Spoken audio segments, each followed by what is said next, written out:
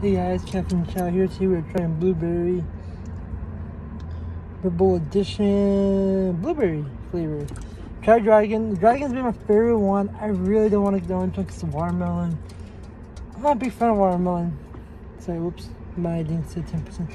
But I'm not a big fan of watermelon. It's like, uh, watermelon's okay. But there's the region watermelon was fire. That was good. The Dragon one, that was good. The white can, that was good. The rest of them have not been. Let's really chop some of this off should, will, Friday. Oh, ignore. Ignore it. Anyhow, anywho, sorry, folks. Um, off the rip.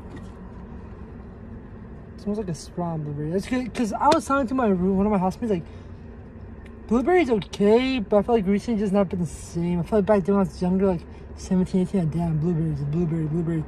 But Region Blueberry Ghost and what's it on? Region Ghost and C4 a month. Man, hopefully something different. Um,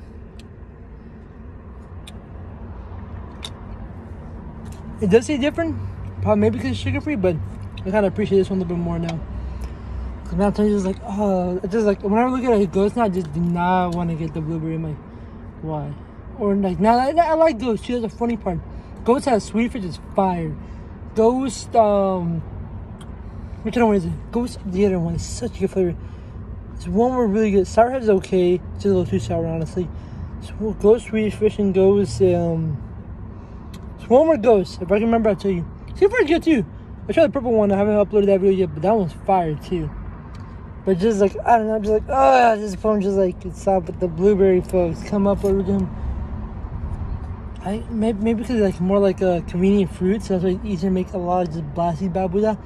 But do you give me like something called like a mango logo or a spicy mango? That tell you right now, a lot of Mexicans drink a lot of energy drinks. If you just get a spicy mango up there, I, I just want to say I was the first time thinking about it. Okay, let's give me some creepy like you know not even money to be like.